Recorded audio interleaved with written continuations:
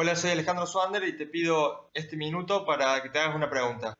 ¿Alguna vez te pensaste realmente eh, qué pasaría si un candidato no tuviera condicionamientos? Si la campaña política no se lo hubiera pagado a nadie, ni la cooperativa, ni el centro comercial, ni el club de abuelos, ninguna institución que se metiera en esto. ¿Alguna vez te pensaste eso?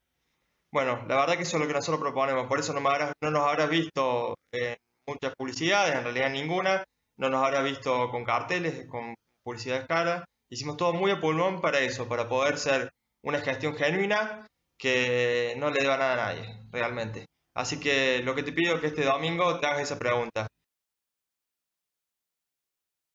Bueno, si viste este video en YouTube es porque usé mi tarjeta de crédito para hacer una publicidad, eh, para que puedas verlo. Eh, y si lo viste por WhatsApp, eh, muchas gracias por compartirlo. Ale Swander, intendente. intendente.